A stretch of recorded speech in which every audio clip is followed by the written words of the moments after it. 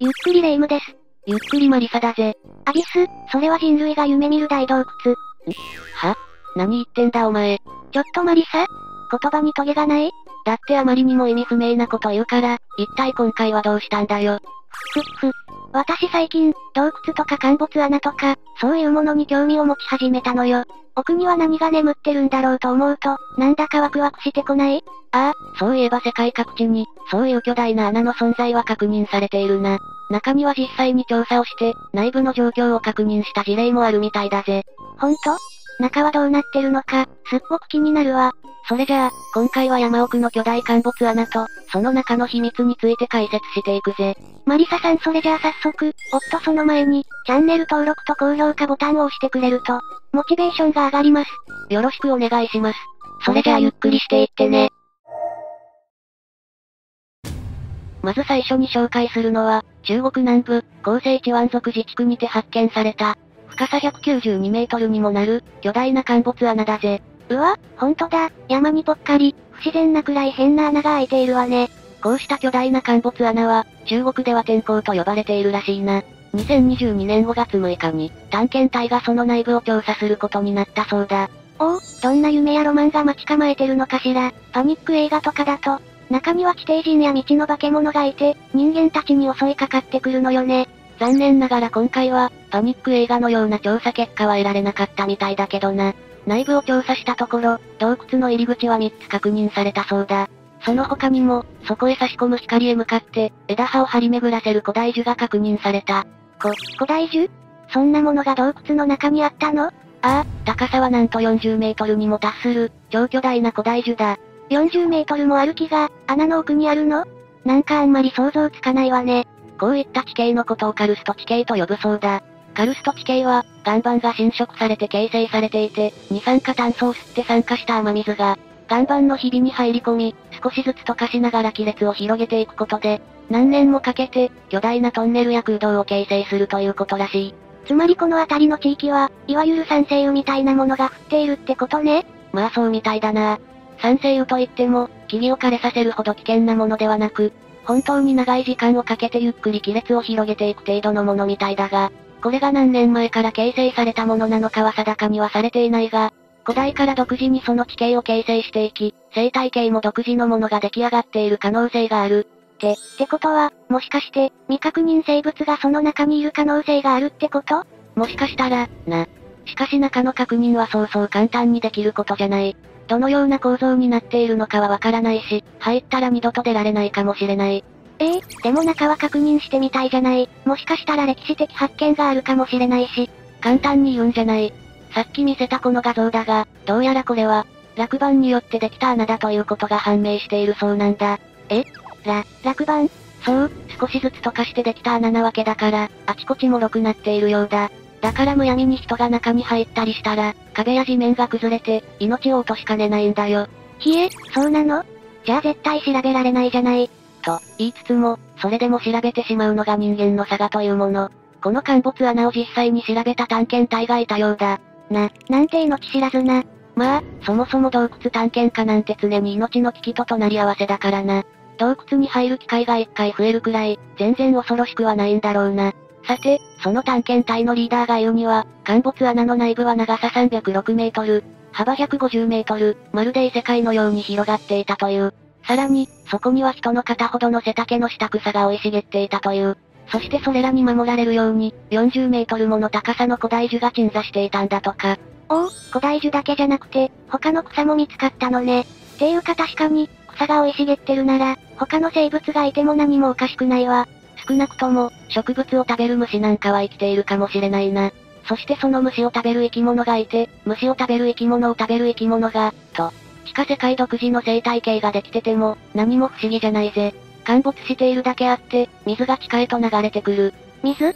水は命の源、それが流れてくるってことは、十分生命がいる可能性があるってことだわ。そうだぜ。地下に蓄えられた水は植物に吸収されているようだが、水自体を調べてみれば、微生物だって普通に生息している可能性はあるしな。は、早く調べてほしい。新種の生物がたくさん見つかるかもしれない。っていうか、私が真っ先に調べに行けば、私の名前が生物に付けられるかもしれないわ。レイムなんとかみたいな名前か？まあつけてもいいけど、ダサいななんでよ？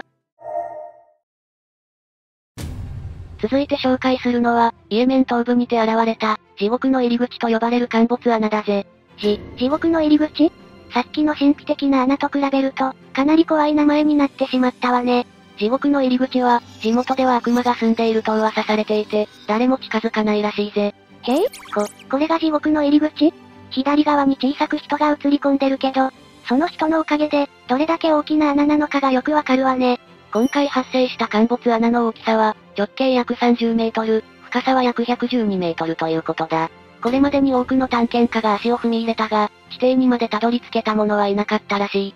こうして見ると、とても自然にできたものとは思えない感じがするわね。よく見ると断層のような跡も見られて、崩壊の跡と考えられている。陥没穴が生じるパターンには、主に崩壊型と沈下型の2種があるとされている。崩壊型は、地表下の岩盤の空洞が大きく膨張しすぎて、上の地盤を支えきれなくなり、岩盤とその上の堆積物が突然洞内に崩れ落ちることで形成されるんだ。突然崩れ落ちるって、それもしもその時上に人がいたら、どうなってしまうの？そりゃあもちろん、深さ100メートル以上の穴に、一直線で落ちていくことになるな。怖すぎる、私その時そこにいなくてよかったわ。一方の沈下型は、地表の堆積物が地下の小さな空洞にゆっくりと流れ込んで、くぼみや陥没穴が形成されることで生じるらしい。つまり沈下型はゆっくりと出来上がるってことね。まだ事故が少ないのは沈下型の方かしら。この地獄の入り口がどっちのパターンで、いつできたのか詳しいことは分かっていない。しかし、空洞自体は、どうやら数百万年前にはすでに存在していた可能性が高いそうだ。今回、10名の調査チームがこの穴の調査に当たることになった。滑車を使って地底までロープを垂らし、2名だけは地上で待機。他は全員地下へと向かった。8人も地下に行ったってこと？大丈夫かしら？突然落盤とか起きない？地底までは112メートル。みんな生きた心地がしなかったかもしれないな。面白いことに、それだけ深くても地底には光が差し込んできていたようで、割と広々とした空間が広がっていたみたいだ。あらほんと、っていうか、本当に何か冒険でも始まりそうな雰囲気になってるわね。そうだな。そして地底には、地獄の入り口と呼ぶにふさわしい、恐ろしいものが待ち受けていた。な、なに何があったっていうのよ？これだぜ。うわ？針山地獄？確かに、こんなものがあったら地獄の入り口と呼ばれても仕方ないわね。実はこのトゲは、洞窟の天井から落ちてきた水滴に含まれる物質が積み重なってできた、タケノコ状の石準と呼ばれる物体だぜ。せ、石準こんなものが自然にできるんだ。自然って本当に何でもありね。しかしこんなにも大きなものが、複数出来上がるのは正直驚いたぜ。もしも落ちた先にこの石準が大量にあったら、文字通り串刺しになっていただろうな。怖いこと言わないでよ。そんな石準を見つけた後も、まだまだ地底調査は続いた。写真はないが、どうやら洞窟の中には、迷い込んで出られなくなってしまった鳥の死体が、あったみたいだぜ。と、鳥がいたの？地下100メートルの地点に迷い込むって、一体どうしたのよ？街に住んでいる鳩やスズメなんかは、100メートルも飛ばないと言われているからな。一度落ちてしまった場合、再び上がってくるのは至難の技だと言えるだろう。それじゃあ、鳥たちからしたら、一度落ちると本当に二度と上がっては来れない地獄の入り口なんだ。鳥さん、絶対に落ちちゃダメよ。落ちたらこの世の終わりよ。また、これも写真がなくて恐縮だが、洞窟の中には生きた状態の蛇が見つかったらしい。え、蛇？それってもしかしてずっと地下深くで暮らしてきた、新種の蛇？深い言及がされていないことを見ると、おそらく新種ではないのかもしれない。鳥たちと同じく、穴が開いた時に迷い込んだ蛇なのかもしれないな。なんだ、新種じゃないのか。せっかくだから、私が蛇に名前を付けてあげようと思ったのに。いや、お前が見つけたわけじゃないんだから、お前が名前を付けるのは無理だろ。でも、蛇が見つかったのは正直言って、新しい可能性を示唆すると言えるだろう。生きているということは、洞窟内に餌がいるということ。それはもしかしたら同じように、落ちてきた生き物かもしれないが、洞窟固有の生物の可能性だって十分にあるわけだ。なるほど、確かに生きてる個体が見つかってるなら、蛇の餌になっている生き物もいるはずだもんね。蛇は生き餌しか食べないし、蛇が生存しているという事実は、かなりのヒントをくれているというわけだ。すごい、偶然とはいえ、蛇が地下に落ちてくれたのはすっごく嬉しいわね。まあ、そうだとしても危険な場所であることに変わりはないからな。素人がむやみやたらに洞窟の中に入るのは、やめておいた方がいいだろうな。続いて紹介するのは、アメリカネバダ州で発見された、巨大な陥没穴だ。アメリカにまで存在しているんだ。本当に世界中に陥没穴が発生してるのねアメリカで発見されたものは、悪魔の大釜と呼ばれ、中には高温の天然温泉が湧き出ているとか。お、温泉？そんな陥没穴があるの？それじゃあ、そこで温泉事業が行われてたり？いや、残念ながらそんなことはないみたいだ。深さもかなりあるみたいだし、ここの温泉に入るのは、ほぼ不可能と言ってもいいだろうな。ほぼ不可能か。残念だわ。せっかくだから中に入って色々確認したかったけど。実はな、この穴に対して、面白い実験をしてみた人がいるみたいなんだよ。面白い実験？どういうの？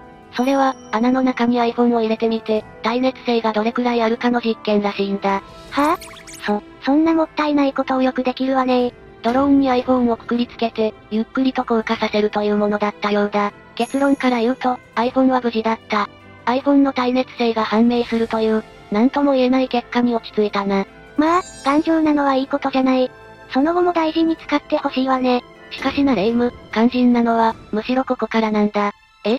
ど、どういうこと ?iPhone は動画撮影モードの状態で、ゆっくりと降下させていたみたいなんだが、その際に、何やら不気味な音声が収録されていたらしいんだよ。ぶ、不気味な音声って、具体的にどういうものなのよ？その音声は、まるで誰かが助けを求めて叫んでいるかのような、そんな音だったらしい。これが実際の動画なんだが、この動画の6分くらいのところがちょうど穴に落ちた直後だな。音声を聞いてみると、確かに誰かが叫んでいるかのような音が入っているのがわかる。な、なんて恐ろしい。もしかして、灼熱の温泉の中に、誰かが入っているとか？それか、ただ単に風の音が叫び声みたいに聞こえているだけ？うむ、実際に過去に似たような事例が起きたことがあり、その時もちょっと話題になっていたな。え？過去にも叫び声が発生してたの？地獄の声、と呼ばれる音が、ロシアの技術チームの調査で収録された。シベリアのとある土地に、地下約 12.2km の穴を開けて空洞に到達させ、その地下に耐熱性のあるマイクを下ろし、現場の音を聞いてみるという調査だった。その結果、その地下からはもがき苦しむような人々の叫び声が聞こえてきたという。な、なんじゃそりゃ、それじゃあまるで、地下には暑さで苦しむ人がたくさんいるみたいじゃん。この地獄の声に関しては、後にフェイクだという話が出回ったこともあるが、これは何か触れてはいけない話に触れたので、無理やりフェイクということにした。という説も上がっていて、本当のところはどうなのかわかっていないようだ。でも、今回アメリカの穴で聞こえてきた声のことを考えると、本当に地獄の声はあるんじゃない？もしかしたら地底深くには、未確認生物どころじゃない、もっとヤバい何かがあるんじゃないの？まあ、実際に調べてみないことには何もわからないんだが、ちょっと気になるのは、アメリカとシベリアでは全然距離があるということだ。同じような土地で同じような音が聞こえたならまだわかるんだが、全く違う土地で、同じような声が聞こえてきたというのはちょっと不思議だな。うーん、もしかしたら各地に地底人が住んでいて、そいつらが地上人を拷問してるとか？本当にそんな事実があったとしたら、のんきに垂れ下げられているマイクやスマホなんか、簡単に奪い取って破壊してしまうだろ。自分たちの存在が感づかれるきっかけになるんだから。ていうかそもそも、地底人たちが自分たちの存在を隠しているかどうかの話に、って、この話はきっと終わらないから、この辺にしておくぜ。まあそうね、地底人が存在するとか言い出したら、キリがないからね。続いて紹介するのは、メキシコの熱帯雨林地帯、サンルイスポト市にある、ゴロンドリナス洞窟だぜ。なんだかこれまたかっこいい名前の洞窟ね。今度のはどういう洞窟なのかしら。ゴロンドリナス洞窟は、直径55メートル、深さは約400メートルもある陥没穴だ。深さ400メートルとなると、だいたい東京タワーがすっぽり入るくらいだな。ひえそんなバカでかいものが入ってしまうほど深い洞窟なんだ。怖いわねそれは。しかし、この洞窟に関しては、なぜか妙に人々に親しまれているらしく、なんと薄暗く、下の見えない洞窟にスカイダイビングしていく人がいるらしいんだ。はぁ、あ、そんな危険極まりない洞窟に、スカイダイビングですって？命知らずというかなんというか、それ、ちゃんと生きて帰ってこれるの？次から次へとダイビングしていくというから、意外とちゃんと帰ってこれるみたいだな。というか、帰ってこれなかったらスカイダイビングなんて絶対やらないだろうしな。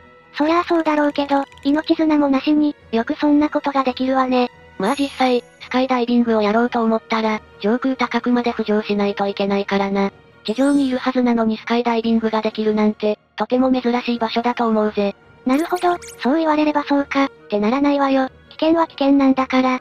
ちなみに、この陥没穴はただの陥没穴ではなく、アルミ確認生物の発見地ともされている。え？スカイダイビングしまくってるのに、未確認生物がいるの？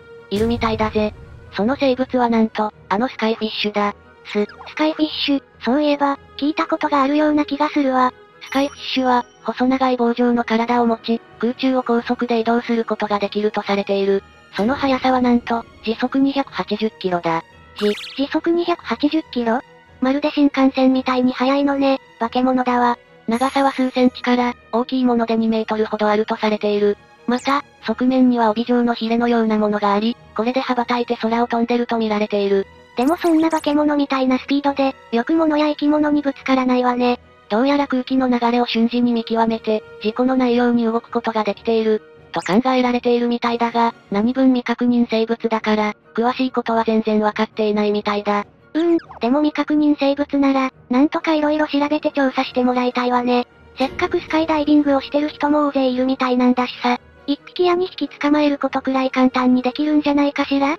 本気でやればできるのかもしれないが、残念ながら、スカイフィッシュはな、実在しない未確認生物だと考えられているんだよ。え、ええ？散々スカイフィッシュについて、色々話をしていたじゃない。それなのに存在しないって、一体どういうこと？スカイフィッシュは、ハエや昆虫が動いているのを、カメラが捉えたものだと判明しているんだ。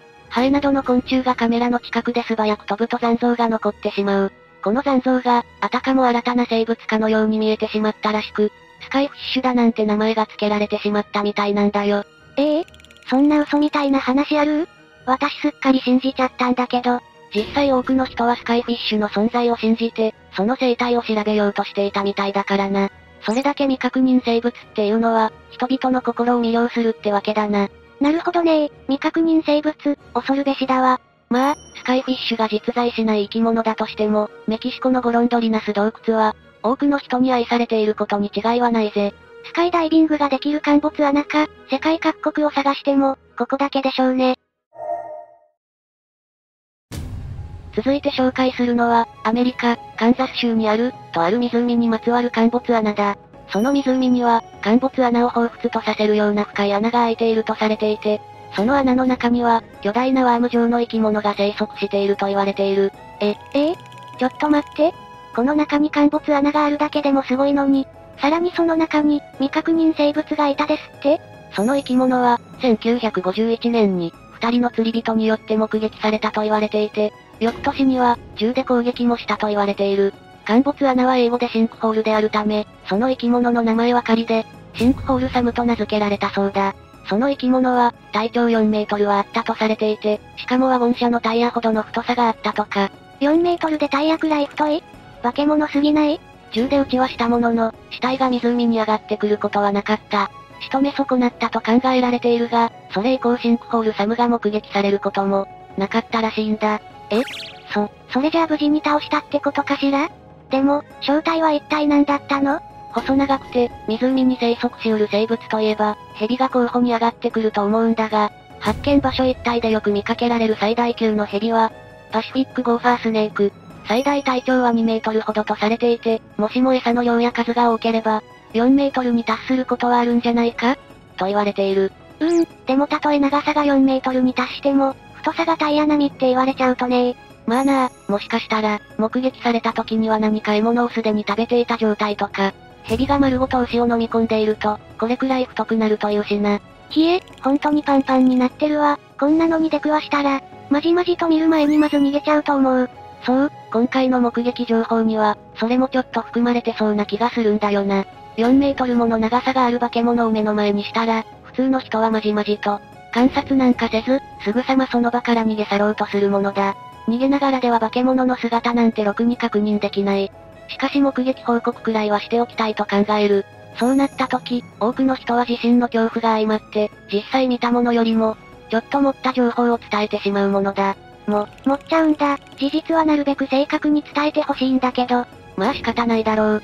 実際私たちも同じ状況に立たされたら、正確な情報なんてろくに伝えられないと思うし。